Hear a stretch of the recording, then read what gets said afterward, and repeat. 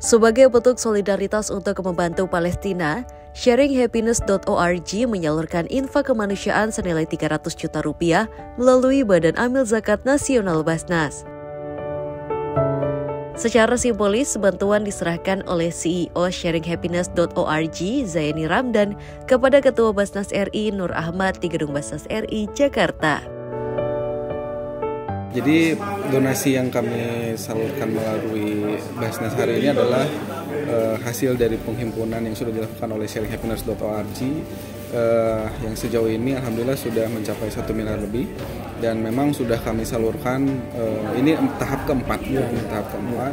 Jadi sebelumnya kami sudah salurkan ke uh, beberapa NGO salah satunya adalah uh, INH yang dipimpin oleh Ustaz Hussein Gaza dan alhamdulillah hari ini kami bisa berkolaborasi kembali melalui Basnas. Dan mudah-mudahan ke depan uh, terus ada kolaborasi juga melalui Basnas.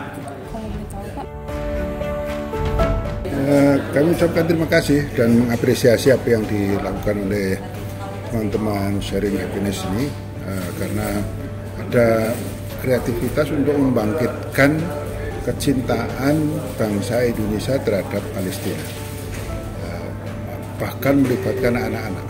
Ini satu ide yang cemerlang yang sangat bagus uh, sehingga apa yang kita lakukan ya, tidak hanya semata-mata membantu tetapi sekaligus juga membangkitkan bagaimana emosi kita kepada bangsa Palestina.